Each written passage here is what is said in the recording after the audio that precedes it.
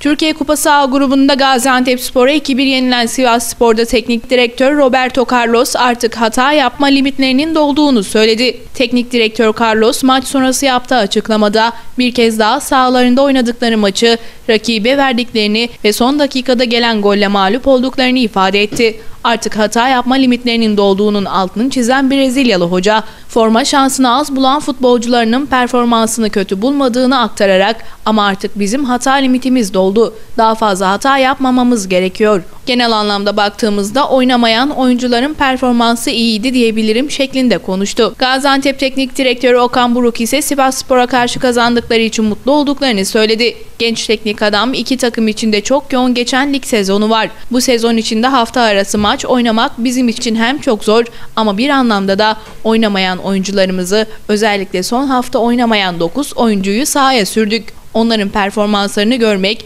özellikle genç oyuncularımızın maç performansını kazanmaları anlamında önemliydi dedi.